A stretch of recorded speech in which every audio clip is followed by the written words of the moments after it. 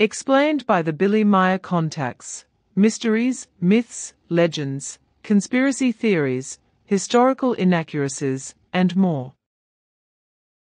Compiled by David Chance, revised October 18, 2023. Pythagoras. Contact Report 269. The Greek philosopher Pythagoras, born in Samos around 570 BC. Probably died in Metapont around 500 BC. Founded in Croton in northern Italy, as I wrote there, a union with religious, scientific, political, and ethical aims. This was the Pythagorean alliance. From Pythagoras comes the teaching that the essence of reality is the number, as well as the teaching of the so-called transmigration of souls. Mathematics, astronomy, and acoustics owe important insights to the Pythagoreans. Pythagoreans were especially Eurytos, Archytas of Taranto, Hippasos of Metapont, Ekphantos, and Hyketas.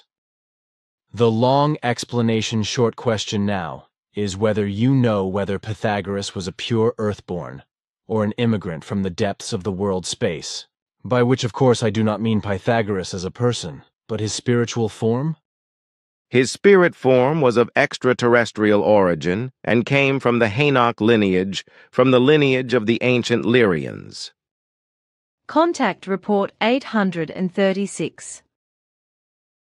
However, 2600 years ago Pythagoras again recognized the value of sounds, but not in the sense of what is actually behind them. But today some clever scientists may be thinking about it. Contact Report 847.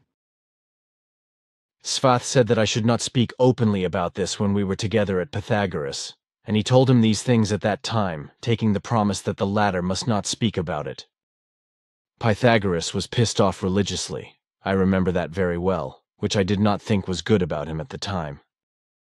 Later, Sfath thought so too, and also said that the man had been indoctrinated with this faith by his parents and his dealings with his acquaintances. Nevertheless, Sfath explained many things to him, whereby I remember that he also told him, as he also told other greats during our trips to the past, that all the planets in the solar system had their own music, to which he explained to me that he meant frequency. But that, he said, was not understood by the earthlings at that time, which is why he said music.